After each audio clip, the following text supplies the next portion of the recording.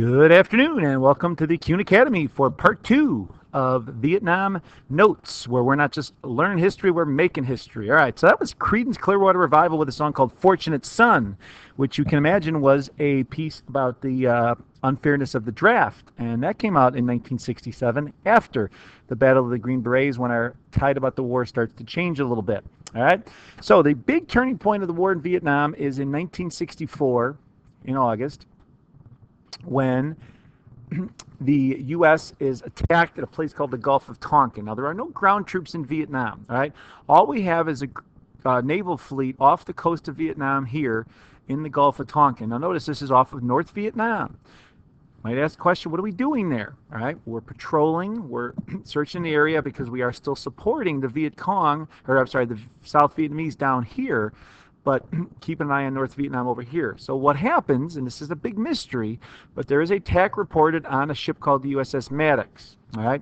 And what follows, all right, is Johnson's demand that America protect itself from these further attacks from the um, North Vietnamese. So he goes to Congress and asks them to authorize the use of force um, to prevent further aggression against uh, the North Vietnamese. Now, again, context.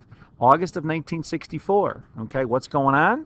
He's running for election for the first time. He's facing a conservative challenger that's saying we are too weak on communism. We're letting it spread. All right, you know, China's become communist. North Korea, we had that war going on. Communism spreading in Europe. All right, there's a big up, up revolution in Hungary in 1956.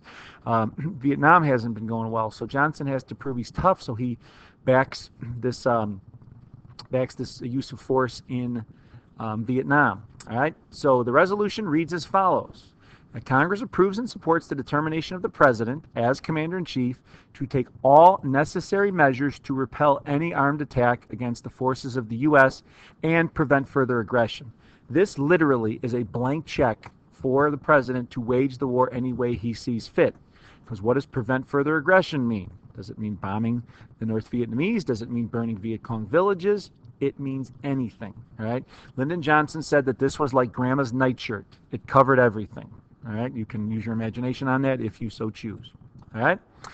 So February of 65. All right. The U.S. starts an air attack called Rolling Thunder, which was a program to bomb North Vietnam, to try to weaken their defenses, weaken their ability to attack and supply the Viet Cong in South Vietnam, um, and uh, and and weaken their uh, countryside in a sense. All right, so it just starts out as an air war. All right, uh, but the North Vietnamese started, or the Viet Cong started attacking our air bases and things, and what forts we have uh, there in the south. So um, the U.S. Um, Marines land at Da Nang, which is a port in South Vietnam, to protect the air bases. So these are the first ground troops to enter Vietnam. This is now March of 1965. All right, Gulf of Tonkin was August of 64. Johnson wins the election in an overwhelming landslide. Takes that as he has support for his policies, so he brings his troops in. All right. By 1967, what America's doing is what are called search and destroy missions. All right. Their strategy is to go out and search for Viet Cong villages, find these people supporting the communists and resisting the South Vietnamese, and destroy the villages. All right. And the Secretary of Defense during this time is a guy named Robert McNamara, who was the former head of Ford Motor Company. Right? He was Kennedy's Secretary of Defense also. So as a businessman, this guy deals in statistics. So the statistic he was really adamant about in the war was publishing the body count. He wanted to let the newspapers and the press know that America killed 200 Vietnamese and lost 30. All right.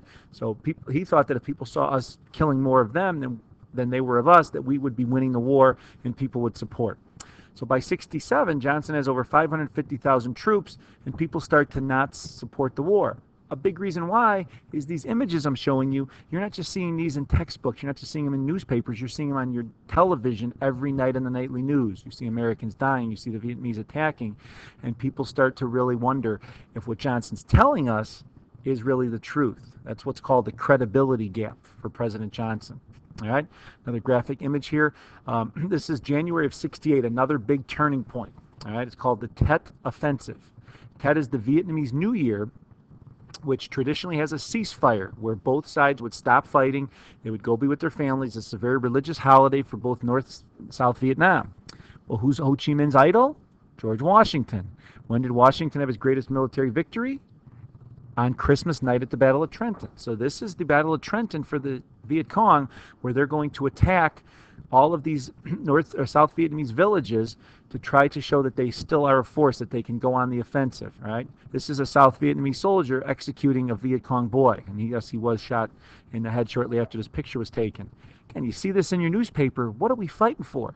This is our guy He's a kid, not much older than 14, 15, and people are, you know, starting to wonder what's this war really all about. So even though America won, they held all the cities, they defended the capital.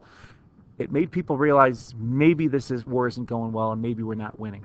Okay, so you can see here from the graphs, this is the U.S. troop presence in Vietnam. Notice it continues to rise, and as more troops go, American people think we should be winning, but what's happening? There's more and more deaths. All right, and then after the '68 election, Nixon gets elected, starts to withdraw the troops, and the casualties die as well, and reduce as well. So we basically realized here that this war can't be won, but you can't just pull out. Okay, so twice and just as many casualties happened before '68 as happened afterwards. But this is because of the election of '68 and Richard, uh, Richard Nixon's plan to start ending the war. All right, so we start this program called pacification, which is basically today we call it a counterinsurgency, where you go into the countryside and you try to pacify all of these resistance troops from the Viet Cong and their bases and their uh, attacks and things like that and try to subdue them. And Nixon's plan was called Vietnamization. This is what's most likely to make the AP exam. This is the idea that America is going to train Vietnamese soldiers to fight the war in America's place. So American troops can come home and the Vietnamese can take over and continue to fight the Viet Cong and the North Vietnamese. All right, because um, Nixon promised he would end the war, but he would also give us what's called peace with honor. All right. So final slide here before we'll stop for a second. Nixon's elected in 68, takes office in 69, says he has a secret plan to end the war, all right, but doesn't tell anybody what it is, and he later admitted he had no plan, all right, it was just what he had to say because um, he felt that's what the public wanted to hear to win the war. But they start these peace deals in Paris and things to try and end it. But it's going to be four long years before this is going to come to a close. All right. So that's part two of the Vietnam notes. We're going to have to come back for part three here. But thanks again for listening to the Kuhn Academy. We hope to see you on the flip side.